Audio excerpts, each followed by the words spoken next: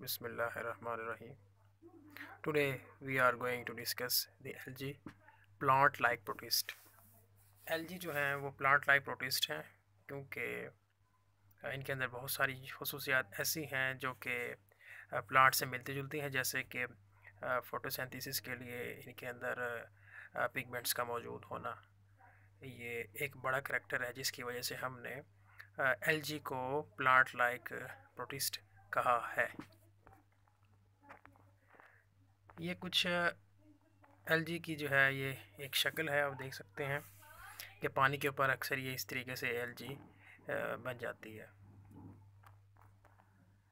इसके बाद एलजी की क्लासिफिकेशन अगर हम पहले देख लें तो यहाँ पर हमारे पास छः इसके फाइलम मौजूद हैं।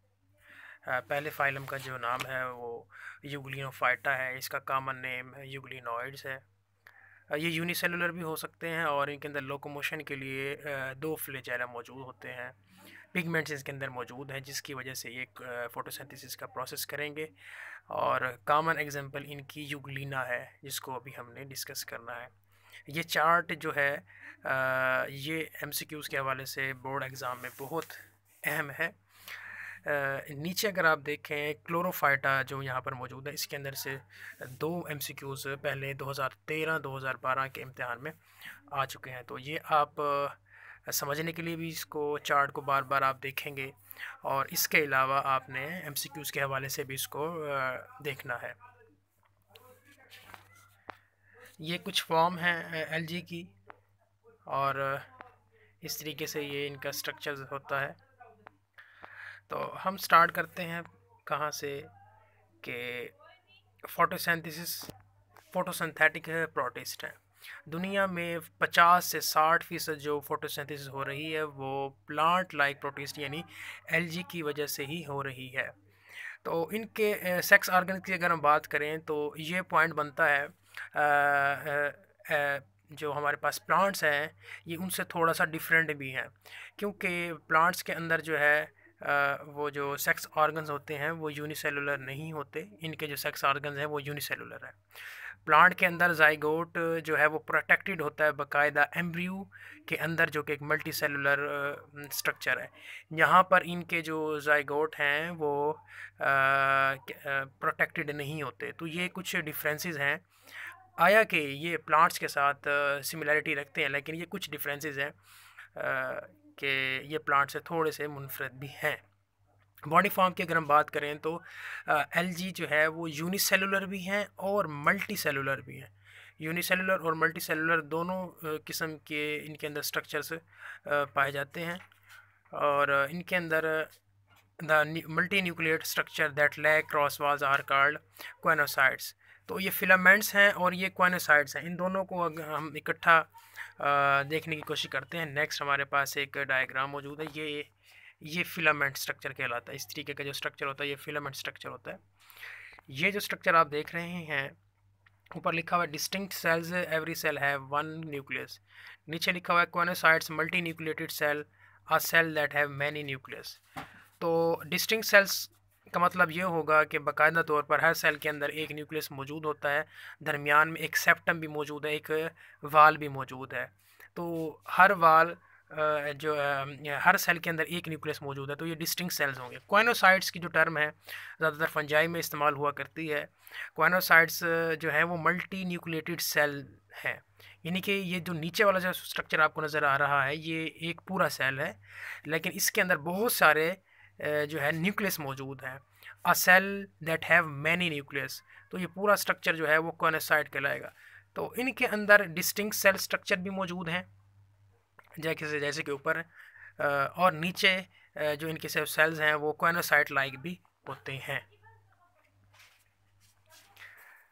Now we have the definition of thallus thallus कहते हैं कि a body can not be differentiated into true roots stems leaves and legs xylem and phloem is called thallus ज़्यादातर जो अलजाई एलजी हैं एलजी एलजी में ना बाकायदा कोई रूट है, ना लीफ है, ना ही कोई स्टेम है, और ना ही इनके अंदर बाकायदा जाइलम और फ्लोए मौजूद होते हैं। तो ऐसा स्ट्रक्चर इसको हम थैलस बोलते हैं। ऐसा स्ट्रक्चर जिसके पास ना प्रॉपर स्टेम है लीफ है और ना ही ये जाइलम और फ्लोएम मौजूद होते हैं।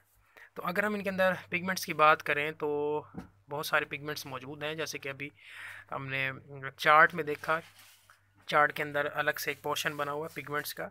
तो एलजी के अंदर जो पिगमेंट्स हैं वो क्लोरोफिल पिगमेंट इनके अंदर मौजूद हैं, जो बड़े पिगमेंट्स हैं। येलो एंड ऑरेंज कैरोटीनाइड्स भी इनके अंदर मौजूद होते हैं।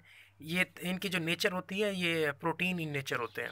In addition to these pigments alga phyla also contain other pigment like xanthophylls भी हैं और फाइकोरेथनिन भी इनके अंदर मौजूद होते हैं।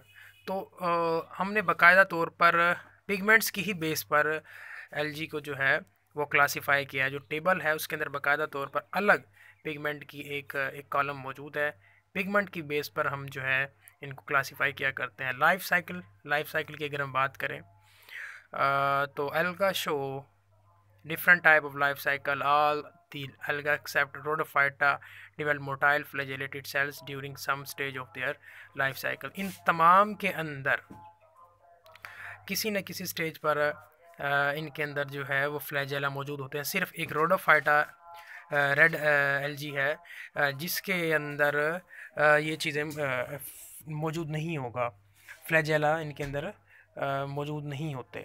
हैबिटेट की बात करें तो ये तकरीबन डैम प्लेसेस पर मोस्टली ये उगाते हैं। जैसे कि यहाँ पर लिखा हुआ है कि ओशन में भी हैं, फ्रेश वाटर पॉन्ड्स, लेक्स हैं स्ट्रीम्स हैं, हॉट स्प्रिंग्स, पोलर आइस। जो पोलर रीजन है, वहाँ भी ये बन जाते हैं। मॉइस्ट सॉइल है ट्रीज़ हैं रॉक्स हैं, ये तमाम का तमाम जो है, ये इनका हैबिटेट है।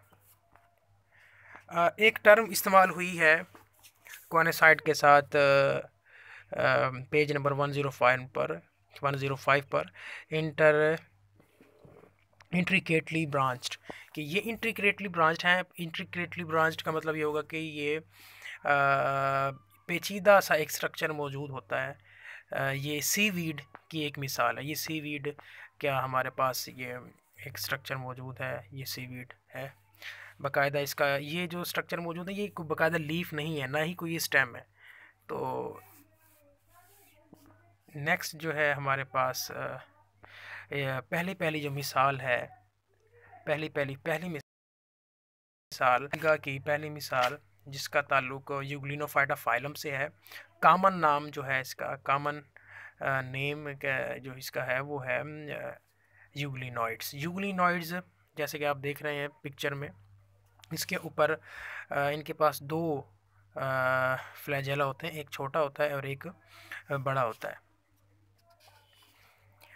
Based on molecular data euglenoids are thought to be closely related to zoo flagellates in, इनको पहले रखा गया था प्लांट किंगडम में। एलजी के साथ एक ग्रुप था, प्लांट के अंदर एलजी उस, उनके अंदर रखा गया था। एंड इन एनिमल किंगडम और फिर जो है, इनको एनिमल के साथ भी इनको रखा गया प्रोटोजोआन में क्योंकि मालिकुलर डाटा जब हमने लिया मॉलिक्यूल्स की जो है हमने इनकी मॉलिक्यूल्स मालिकुलर स्टडी जब की तो इनके अंदर सिमिलैरिटी पाई गई। ये जूफ्लैजिलेट्स जो कि प्रोटोजोआन से जिसका ताल्लुक है उसके साथ ये बड़े क्लोजली इनके रिलेशंस मिले हैं। तो however some photosynthetic euglenoids lose their when uh, grown in dark and dark and obtain their nutrients heterotrophically by ingesting organic matter तो जू फ्लैजिलेट्स के साथ इनका ताल्लुक कैसे है? सम टाइम जब यूग्लिनॉइड्स को रोशनी नहीं मिलती तो इनके जो है, वो क्लोरोफिल इनके अंदर जो पिगमेंट्स हैं, फोटोसिंथेसिस करने वाले, वो ख़त्म हो जाते हैं।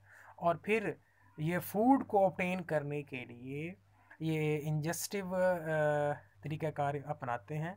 ऑर्गेनिक मैटर जो भी मौजूद होगा इन्वायरमेंट के अंदर तो वो इंजस्ट करेंगे। तो ये नहीं कि ये हेटोट्रॉफ है। तो जू फ्लैजिलेट्स के साथ ये सवाल आ चुका है पहले कि क्या सिमिलैरिटी है यूग्रेनाइड्स की? सबसे पहले जो सिमिलैरिटी है कि जू फ्लैजिलेट्स के अंदर भी फ्लैजाला मौजूद है, इनमें भी फ्लैजाला मौजूद है। सम टाइम ये क्या करते हैं कि अपना जो है वो फोटोसिंथेटिक पिगमेंट ये उनके जब लॉस हो जाते हैं तो फिर ये हेट्रोट्रॉफिक इन नेचर बन जाते हैं। हेट्रोट्रॉफ्स बन जाते हैं। तो दूसरी नेचर ये है कि ये सम टाइम हेट्रोट्रॉफ्स हैं और जू फ्लैजिलेट्स भी हेट्रोट्रॉफ्स हैं। तीसरा पॉइंट ये बनेगा कि ये ऑर्गेनिक मैटर को इंजेस्ट करते हैं। यानी कि हेट्रोट्रॉफ से ही रिलेटेड ये पॉइंट है तो तीसरा पॉइंट आप ऐसे भी बना सकते हैं कि ये ऑर्गेनिक मैटर को जूफ्लैजिलेट्स भी और यूगुलिनॉइड्स भी इंजेस्ट किया करते हैं। तो इस तरीके से ये सिमिलैरिटी इनके अंदर मौजूद है। तो इन नेक्स्ट लेक्चर में हम नेक्स्ट टॉपिक के साथ मौजूद होंगे।